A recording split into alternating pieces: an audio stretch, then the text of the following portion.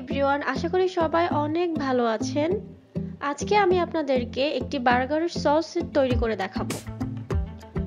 যে কোনো ধরনের বার্গার ইনকমপ্লিট থেকে যায় এই সসটা ছাড়া। আপনার বাসায় বানানো বার্গার রেস্টুরেন্টের স্বাদ আনতে চাইলে এই সসটি কিন্তু অবশ্যই ব্যবহার করতে হবে। ঘরে কীভাবে, খুব সহজে আর অল্প উপকরণ দিয়ে এই বার্গার সসটি তৈরি করা যায়, আজকে আমি সেই রেসিপিটি শেয়ার করব। আশা করি আপনাদের ভালো লাগবে। প্রথমেই আমরা নিয়ে নিচ্ছি রুম টেম্পারেচারে থাকা দুটো ডিম, এক কাপ পরিমাণ সয়াবিন তেল, চিনি, নিচ্ছি গুঁড়ো দুধ, সরিষা বাটা, লাল মরিচ গুঁড়া, লেবু, টমেটো সস আর ব্ল্যাক পেপার এখন একটি ব্ল্যান্ডারের জগে ডিম দুটো দিয়ে দিব। ডিমগুলো অবশ্যই রুম টেম্পারেচারে রেখে ইউজ করতে হবে। এখন দিয়ে দিচ্ছি এক টেবিল চামচ পরিমাণ সরিষা বাটা। এখানে আমি সাদা সরিষাটা ইউজ করেছি। দিয়ে দিচ্ছি এক টেবিল চামচ চিনি। এক টেবিল চামচ গুঁড়ো দুধ। এক টেবিল চামচ লাল মরিচ গুঁড়া। এরপর আমি এখানে এক কাপ পরিমাণ তেলটা আস্তে আস্তে অ্যাড করব। তেলটা একবারে দেওয়া যাবে না, অল্প অল্প করে অ্যাড করতে হবে। এখন আমি সব কিছুকে ফুল স্পিডে ব্ল্যান্ড করে নিব দুই থেকে তিন মিনিট।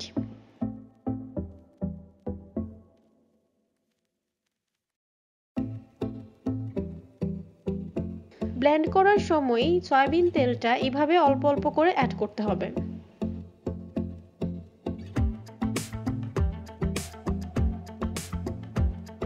এবার দিয়ে দিচ্ছি লেবুর রস। লেবুর রসটা দিচ্ছি কারণ লেবুর রসটা ইউজ করলে ডিমের যে এক্সট্রা স্মেলটা আছে সেটা থাকবে না।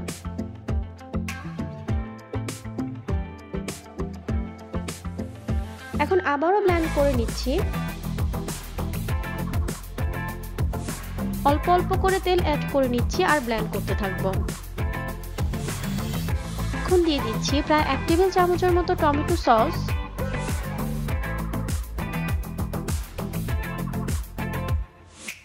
এক চা চামচ গোলমরিচ গুঁড়া।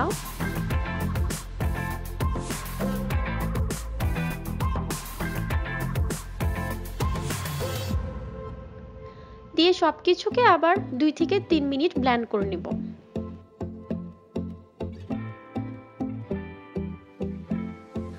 আমাদের বার্গার সসটা অলমোস্ট হয়ে গিয়েছে। আমি এখন তুলে দেখাচ্ছি এর কনসিস্টেন্সিটা কীরকম হয়েছে।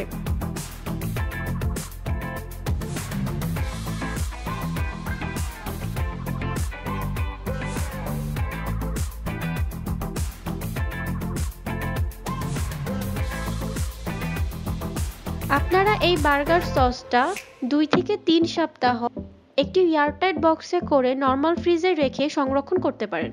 তো দেখতেই পাচ্ছেন, আমাদের বার্গার সসটি একদম রেডি হয়ে গিয়েছে। যে কোনো বার্গারের টেস্ট দ্বিগুণ করার জন্য এই সসটি এনাফ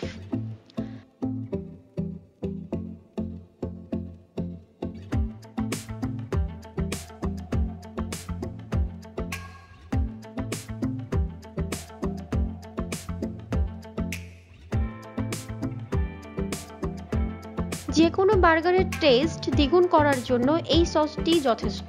আপনারা যখন বাসায় নিজেরা এভাবে ট্রাই করবেন, তখনই বুঝতে পারবেন।